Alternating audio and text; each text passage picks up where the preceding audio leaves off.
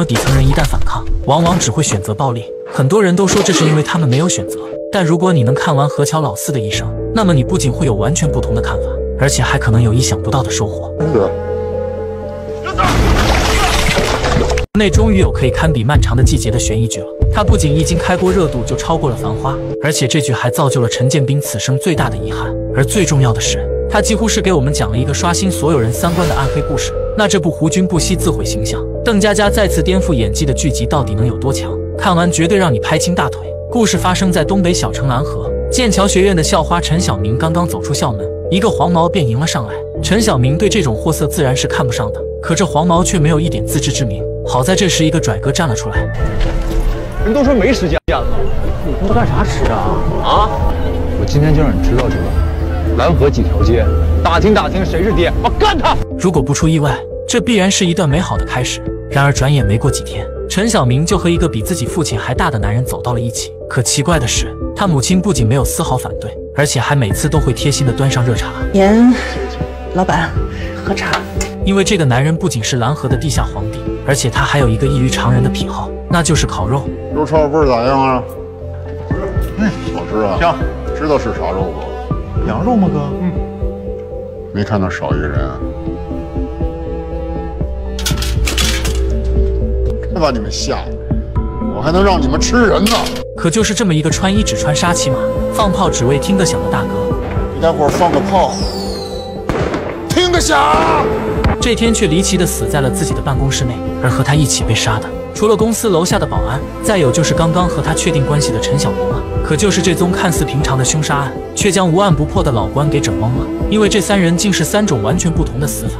严红桥是死于枪击，保安是死于利器戳刺，而陈小明则是死于坠楼。最让老关不解的是。这严红桥和陈小明死前都是穿着睡衣，可这办公室内并没有床啊！莫不是这两人喜欢睡办公桌？而就在老关不解之时，他尝试着推了推书柜，却不料竟让他发现了一个完全不同的世界。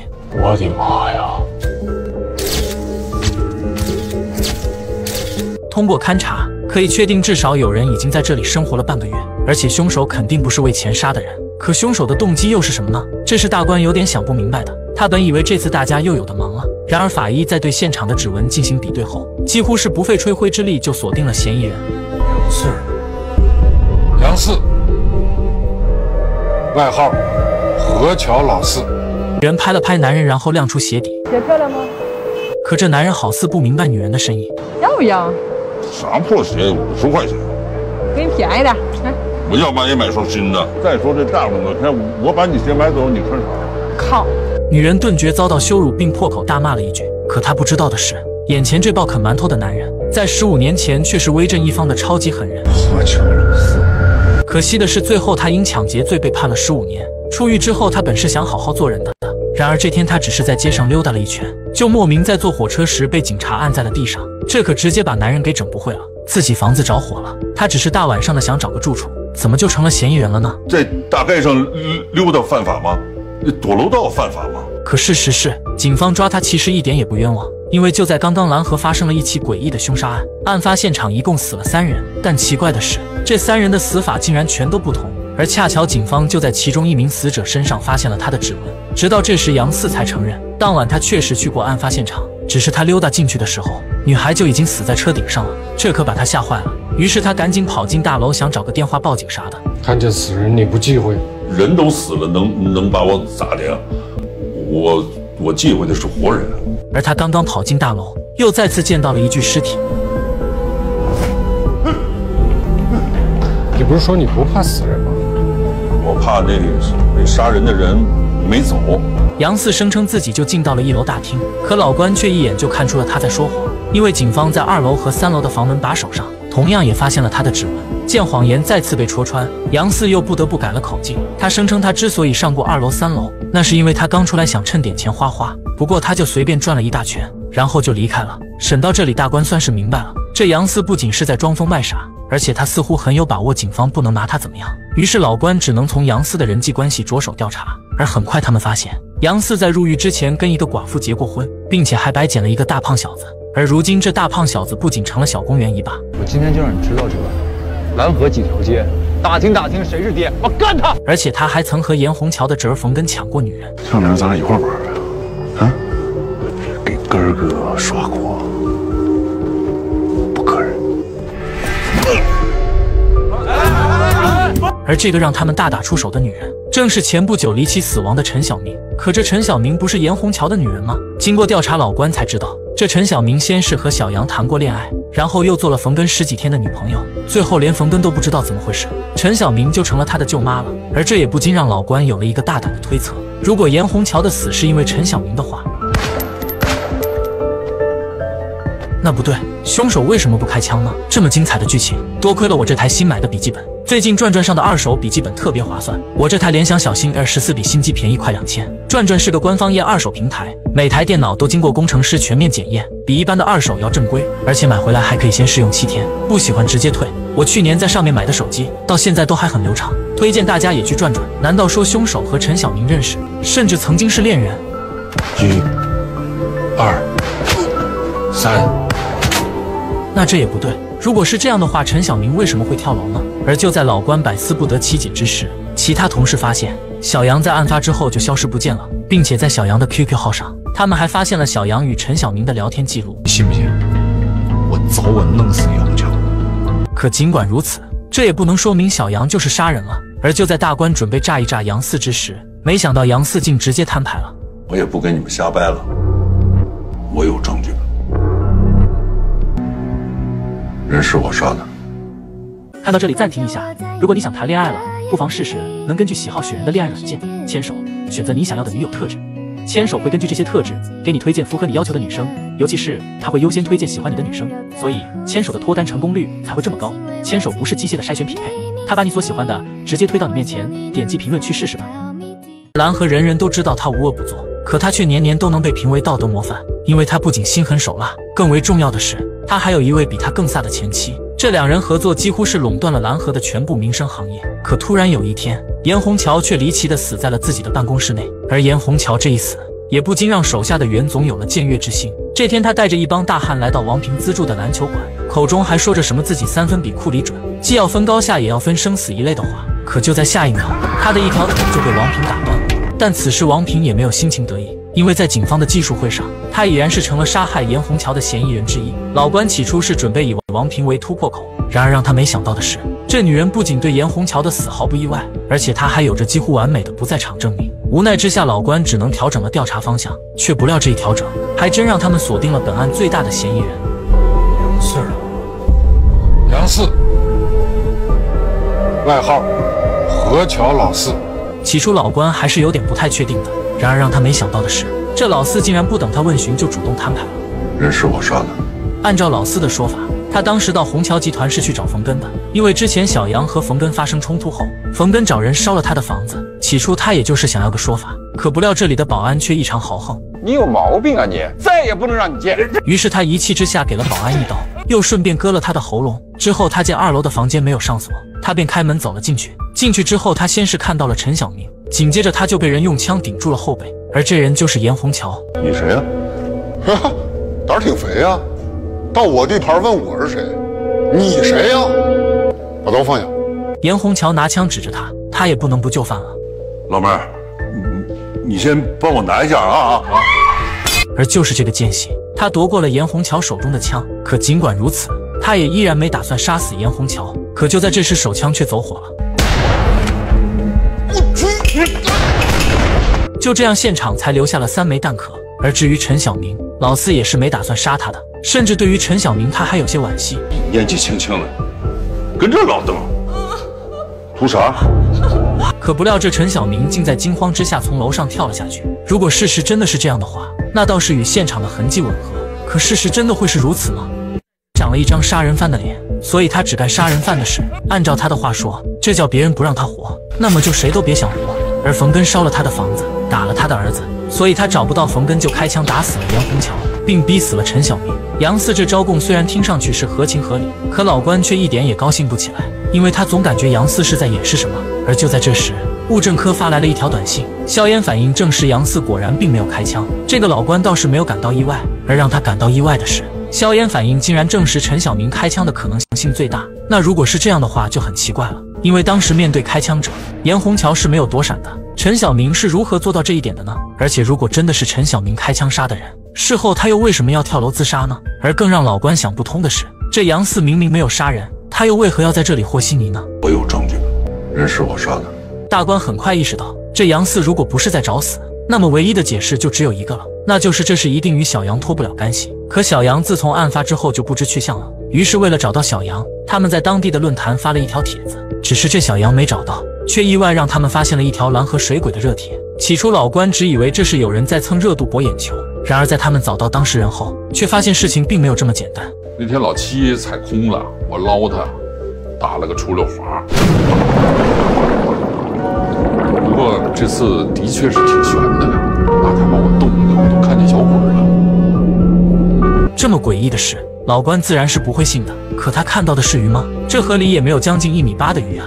于是老关交代钟义好好查查，而他则有一件更重要的事去做，那就是前去杨四的老家。而他这一去不要紧，竟让他发现了一个惊人的秘密：这杨四的父母都是 A 型血，可杨四的体检报告上却显示这杨四竟然是 B 型血。所以大关推测，如果不是杨四他妈有问题，那么唯一的解释就是这杨四也许并不是真正的杨四。而大关的推测也确实没错。十五年前，真正的杨四早已死在了铁锹之下，而他的身份证则被另一个男人捡到了。黑土无言最大的反转终于来了。原来当年杨佳丽在捡到杨四的身份证后，就化身杨四又娶了自己老婆一次。虽然这样一来，他身上背的案子是没有了，可他这个亲爹也变成后爹了。他不是我爸爸。杨四本以为只要自己足够卑微，后爹也是可以变成亲爹的。然而他还是小看自己这个儿子了。你是不是蹲吧里头蹲傻了？我告诉你，现在这个年头。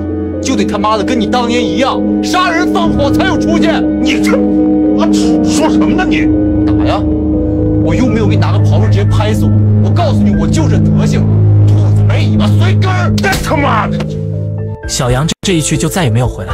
他以为小杨是去找冯根报仇了，所以他才深夜摸进了虹桥集团。而他刚一进门，就发现了躺在地上的尸体，以为是儿子杀人的杨四，毅然选择了替儿子顶下罪名。人是我杀的，可他不知道的是。他这个宝贝儿子很可能已经死了，而这幕后的黑手极有可能就是严虹桥的前妻王平。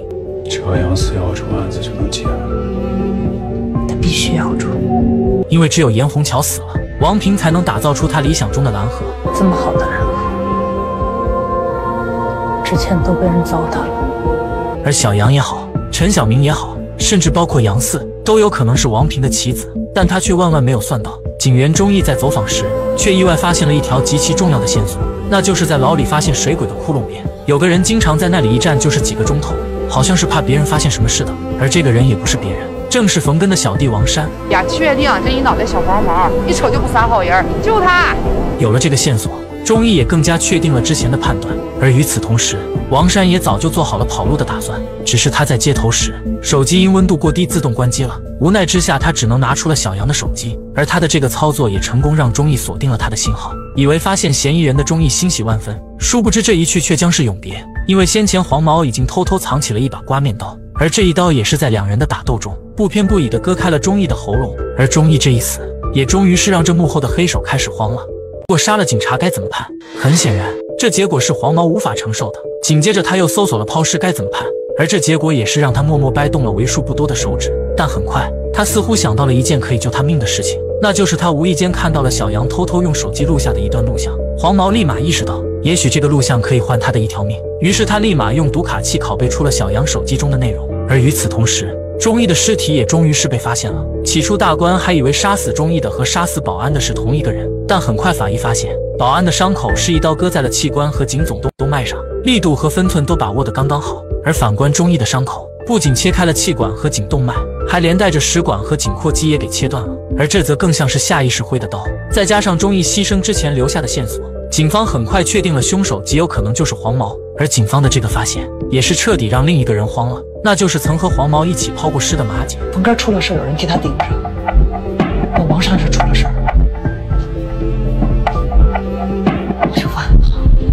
紧接着，黑白两道就开始了全城搜寻黄毛，而恰巧就是这天早上，刚在五八同城找到工作的老李，好似发现了黄毛的踪迹。可就是他想见义勇为之时，黄毛却被另一帮人给绑走了，而绑他的也不是别人，正是风情万种的马二姐。我跟你说啥嘞？啊？嗯，咱不让你干啥，你偏得干啥？偏得干啥呢？对于杀了警察的黄毛，马姐一时间也是没了主意。好，你走行，但你得先去见王平。可黄毛知道，王平可是一个比严红桥更可怕的女人。二姐，你这是要我死？是死是活的，看你走。如果左右都是死，黄毛毅然选择了鱼死网破。我告诉你，杨红桥到底咋死的？啊？什么呢你？说什么呢你？放屁！给脸不要了是不是？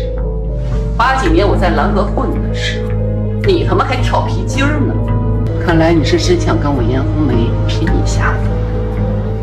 你儿子杀人，任谁也不会想到，冯根竟成了杀害严红桥的最大嫌疑人。但冯根的母亲严红梅知道，冯根这小子有胆子摸枪，但他绝没有胆子杀人。更何况那人还是他老舅，而如今有能力杀人，并且能将其嫁祸给冯根的，就只剩王平了。因为严红梅知道，王平的狠辣并不是现在才有的，早在十五年前蓝河化肥厂改制时，他就见识过王平杀人不见血的手段了。那时蓝河化肥厂厂长严树岭想以改革为由，私吞化肥厂资产。以刘建刚、杨丽佳为首的厂职工强烈反对，所以改革一直举步维艰。然而突然有一天，一向待刘建刚如师如父的杨丽佳，却不知为何突然将刘建刚打成了残废。之后杨丽佳也掉进冰窟，不知所踪了。起初所有人都不知道杨丽佳为何突然反水，直到后来老关调查到，在刘建刚遇袭的同一天，有人帮杨丽佳将小杨一万二的手术费一次性交齐了，而这一切的幕后黑手正是王平。可就是这么一个杀伐果决之人，却偏偏有人想挑战一下他的软肋。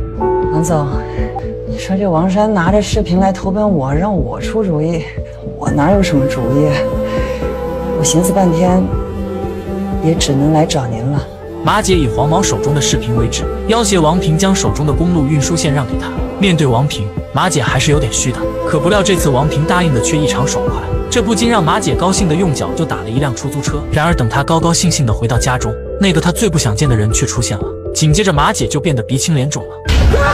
因为在蓝河，王平不允许受到任何威胁，知道了吗？事后，马姐颤抖地交代出了二狗的住址。而与此同时，一个神似李丰田的女人，在用啤酒灌下一把药片之后，就找到了二狗。二狗，孩子，你怎么长那么都大了？谁呀？哎呀，想不起来了，花阿姨嘛，咱二姑家雇那长工。啊，花阿姨是吧？哎，这怎么想起来呀？快点告诉我，王山干嘛呢？王山干嘛？二狗不堪重负，终于说出了黄毛的下落。而不久之后，黄毛的门就被敲响了。大哥，搁家呢吗？我给你做饭来。可能出事儿了，出啥事儿了？王平这句话彻底让杨四破防了，几乎是下意识的他就想到了替小杨顶罪。可怎么才能让警察相信是他杀了人呢？思虑再三之后，他首先是点了自家的房子。我就琢磨着哈，你们要问我杀人动机啥的，我也好拿这个来说事儿。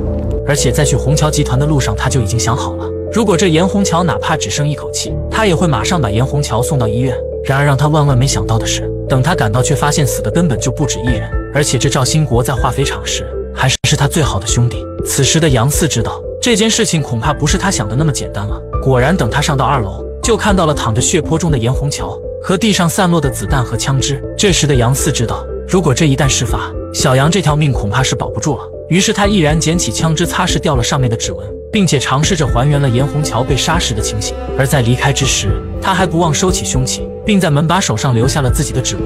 而为了更快的让警察怀疑到自己，他还故意踹醒了路边的九蒙子。不想死，起来滚蛋！上哪儿呢？上哪儿呢？滚！而最后，他将凶器藏到了妻子的墓旁，并交代了一下后事。你在下面好好跟他们唠唠，劝劝他们，别别缠着咱家儿子不放。上面的事就交给我啊，我来看看。他本以为只要警察能抓到嫌疑人，小杨就能脱罪了。可他不知道的是，其实这人根本就不是小杨杀的，而且小杨在此之前同样也遇害了。而他更不知道的是，其实王平让他顶罪，并不是早有预谋，而是因为一个巧到不能再巧的意外。时间回到案发前一个月，那时的蓝河正处在撤县社区的关键时期，而河沿项目的开发则被严红桥一人攥在了手中。王平本来是想请老齐出面从而他也从中分一杯羹的。然而这严红桥不仅不买账，还对其百般刁难。给王总赔个不是。好在老齐出面，此事才平息下来。而这件事后，王平也意识到，只要有严红桥在，他就不可能出头。动吧，他逼我们的。可怎么既能让严红桥死，他又能置身事外呢？而就在王平困惑之时，他突然发现小杨一直与陈小明纠缠不清，而恰好此时陈小明已经成了严红桥的女人。这样一来，小杨为情杀人，然后再畏罪自杀，似乎成了最完美的答案。可让他没想到的是，发现儿子失踪的杨四通过跟踪黄毛，一路追到了文武庙中，而这又不禁让王平心中又生出了一道计谋。他先是用小杨的手机给杨四发去了一条短信，随后他又打出了一组无中生有加欲擒故纵的组合拳。你记住，你今天晚上没有见过我。你这叫什么话呀你？快说说实话！你这事你真的别再管了。我他妈是他亲爹。我不管谁管，告诉你王平，你不说实话，你今天就别想离开这儿。说话。小宋出事儿了，他叫我来这儿找他，我已经把他送走了。在王平精湛的演技之下，杨四终于是钻进了这个圈套当中。只要杨四能够认罪，王平自认为有能力让这个案子办成铁案。然而让他万万没想到的是。这天，警方在一间出租屋内发现了黄毛的尸体，并且通过法医检验，这杀死黄毛的很有可能和杀死赵兴国的是同一个人。杨丽家本是个积极向上的有志青年，不仅有着待他如亲儿子一般的师傅，还有一位对他不离不弃的妻子。可就当他以为能在别人的羡慕中度过一生之时，厄运却悄然降临了。他刚刚出生不久的儿子被诊断出了心脏病，一万二的手术费对有钱人来说只是洒洒水，可对于原本就不富裕的他来说却是无法想象的数字。于是他第一次放下面子。跟自己的死对头严红桥开了口，而让他没想到的是，严红桥这次不仅答应的异常爽快，还在原本一万二的基础上给他加了两千块钱。但唯一的条件就是让他杀了一直阻碍工厂改革的师傅，一边是待自己如亲儿子一般的师傅，一边是自己刚刚出生的亲儿子。在经历过数次挣扎之后，他还是选择了对师傅下手，因为他下手之前就已经想好了，无非就是一命换一命。事后他选择了跳进冰窟为师傅偿命，可让他没想到的是，这次跳江他不仅没死。还让他在一次打黑工的途中意外捡到了杨四的身份证，而这也让他有了一个大胆的想法，他化名成杨四，又娶了自己老婆一次。只是他这亲爹也突然变成继爹了，叫爸，叫啊！他不是我爸爸。但对于此时的杨四来说，能够正常生活已经是万幸了。可就在他打算好好生活之时，厄运又再次找上门了。小杨旧疾复发，高昂的治疗费终成了压垮他的稻草。而为了儿子能顺利的接受治疗，他想到了一个最笨但最有效的方法。那就是抢劫，但遗憾的是，这次出手他不但没能抢到一分钱，还因为抢劫伤人被判了十五年有期徒刑。而等到他出狱之时，不仅妻子已然病故，儿子也把他当成了仇人一般。你是不是蹲吧里头蹲傻了？我告诉你，现在这个年头，就得他妈的跟你当年一样，杀人放火才有出息。他妈的！盛怒之下，他打了儿子一巴掌，而他怎么也不会想到，这一巴掌不仅会害了他的儿子，也会彻底葬送了他自己。因为小杨这一出走，就成了王平利用的工具。王平撺掇小杨和他一起杀了严红桥，事后王平可以如愿获得核盐项目，而小杨则可以和心爱的陈小明双宿双飞。可就在他们谋划好一切之时，突然加入的冯根却将事情推向了一个完全相反的方向。哎，王平之前没跟我说过这里边有他啊，有他我不干。你，你说干就干，你想不干就给放你撒开！推搡中，小杨心脏病突然发作，意外猝死在了文武庙中。而小杨这一死，王平的计划也被彻底打乱了。然而就在这时，杨四出现了。王平知道，当初杨四能为了小杨打死自己的师傅，如今他也一定能为小杨扛下这杀人的罪名。于是等杨四赶到后，王平演技骤然爆发。小宋出事儿了，他叫我来这儿找他，我已经把他送走了。出啥事了？而在杨四落入圈套的同时，被他们买通的杀手花姐也明目张胆地闯进了虹桥集团。而等杨四赶到现场之时，严红桥已然横死，而杨四则真的以为是小杨做了案，于是他在伪造现场之后，毅然选择了替小杨顶罪。我有证据，人是我杀的。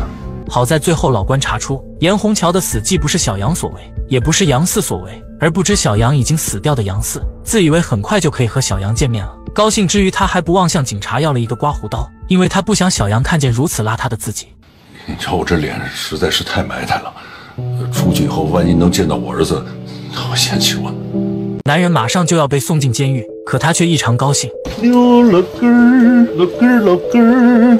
因为只要到了监狱，他就可以如愿见到他儿子了。然而就在这时，民警无意间的对话却将他猛地拉回了现实。他儿子不是叫人给扔到冰窟窿里了吗？这刚捞上来，死的老惨了。这个消息无疑是如同一道雷劈中了杨四。而在震惊和伤心之余，他也不禁萌生出了一个大胆的想法。在押送过程中，趁着警察不注意，杨四突然发起了反抗。而在不久之后，杨四就消失在了滚滚浓烟中，出现在了沿河项目的奠基现场。在杨四心中，这个女人早已是死不足惜，而他现在要做的，就是让王平感受一下他儿子生前遭受的痛楚。而在此之前，他欠的债也要还清。这回好了，这回人情债啊、钱债都还完了，你赶紧还给我了。可刚等他还完债，警方就赶到了。你相信我，你把王平放了，我一定给你一个交代。信你个屁！面对老关的劝说，杨四自然是不为所动的，因为他早就已经做好了和王平同归于尽的打算。凭什么让别人把他扔到冰窟窿里去？你掉进过河里吗？你知道那水里得多凉啊！可就在这时，老关突然给杨四抛来了一个手机，而这手机当中正是小杨曾经想对杨四说却没说出口的话。我妈走的时候就已经跟我说你是谁了。杨四，欠你的太多了，没法还。我也不知道怎么还。所以今儿的，我就搁这疙瘩，正儿八经的叫你一声爸。老关本来是想靠这段视频让杨四就范的，可没想到这竟更加激起了杨四为儿子报仇的决心。他毅然拉起王平就要一起下水。你现在杀了王平，你就是杀人犯。十五年，你儿子能原谅一个强奸犯，他能原谅一个杀人犯吗？我觉着，你就是把自个儿的命赔进去，你以后也没脸再见你儿子了。